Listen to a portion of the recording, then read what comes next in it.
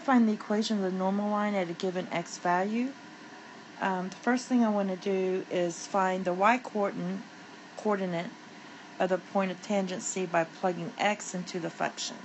So our y equals g of 0.5. And just plug that in. So 2 times 1 half, basically, minus 1. And this is going to be 3e to the 0.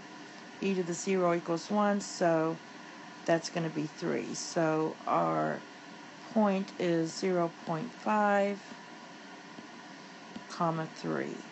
That's our y coordinate. Now, we're going to find the derivative and find the slope of the tangent line.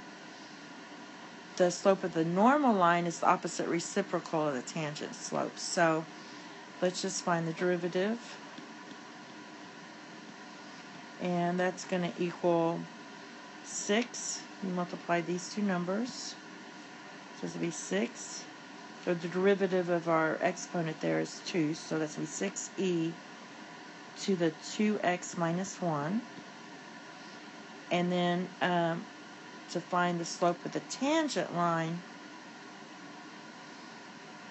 we're going to uh, plug in our x. So our derivative of 0.5, and that's going to equal 6e to the 0, because we already did that one, and so that equals 6.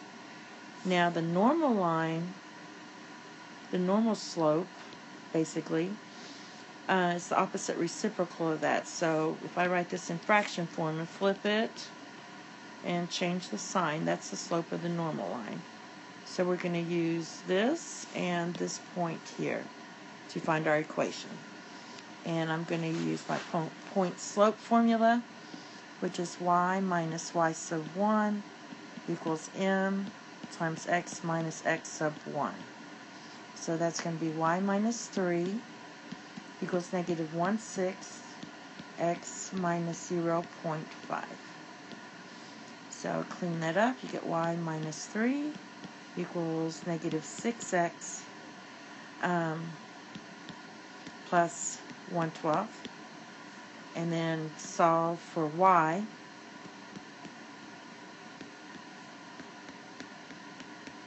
So you add the 3 to both sides. And that's going to give you y equals negative 1 6x. And this would be 36 over 12. That's a 3, so that's going to give you 37 over 12. And that's all. Thank you. Have a nice day. Bye bye.